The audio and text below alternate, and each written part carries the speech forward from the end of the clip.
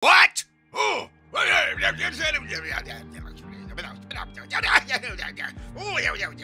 Hi, I'm Chip and welcome to the channel. If you're a service technician and you're looking to hone your diagnostic skills, or maybe perhaps you're a do-it-yourselfer and your washing machine has suddenly stopped working, like to know why and how to fix it so that you can get those piles of dirty laundry off your floor and back in the closet, then you've come to the right place. Be sure to hang around to the end for tips on making some special devices that you can use to diagnose and fix these problems. Now, number one, the first thing I always check, whether I'm out in the field or working on a machine that's been brought to the shop, are the safety devices on the washer. These are your lid switches, your lid locks on top load washers, and door locks on front loaders. If your machine stopped during the wash cycle and you're staring at a tub full of water with your clothes floating around, then your lid switch is probably going to be the culprit. On the old school Whirlpool style machine, that's the kind where you select the cycle, then you pull the knob out to start the wash. Then the lid switch can be found either under the console at the back left corner, or it may be attached under the cabinet top and connected by to a plug that comes up from the bottom near the center of the cabinet under the console.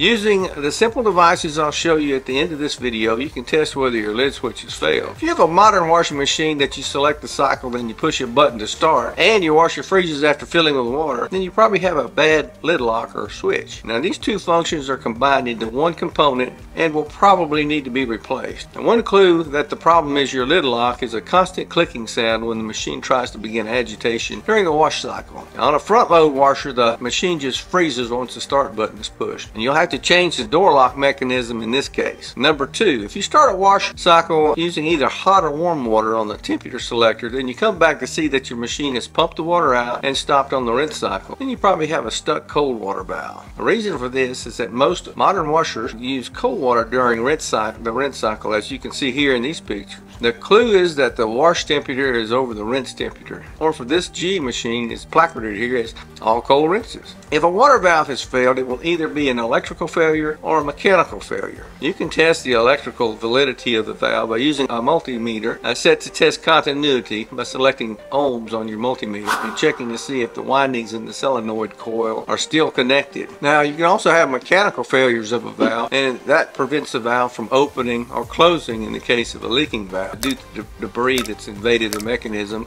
or wear on the moving parts inside the valve.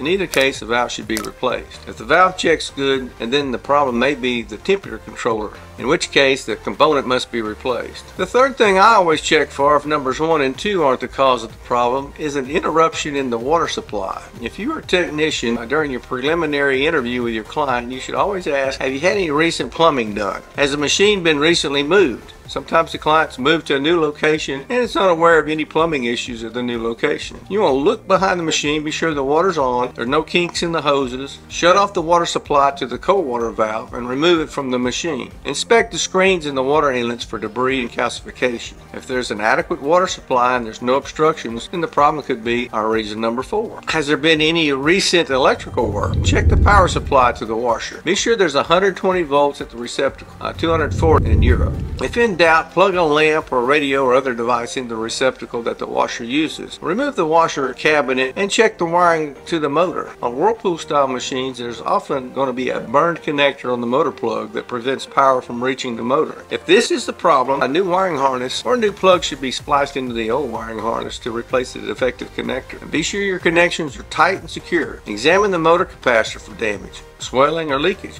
Try replacing your capacitor if the motor hums but doesn't start. You can also build a device to test whether the washer motor is good. And I'll show you how to do it at the end of this video and also in this link right here. Number five, this is going to be your other category. If all these tests haven't fixed the problem, then you should suspect you have a timer problem on old school machines or a control board problem on the newer models. If you don't hear the, the timer motor running, it may have a malfunction. However, the motor might be perfectly good, but not getting power from the timer itself due to a burnt point on the inside of the, the, timer. In this case, you're going to have to replace the timer. On newer machines, you'll have to enter the machine's diagnostic mode to test the control board. Now, the service diagnostic manual can be found inside the machine cabinet on the front top left corner of most uh, machines, or if you have a GE or a Hotpoint, it's going to be found on the back bottom left side of the cabinet inside it.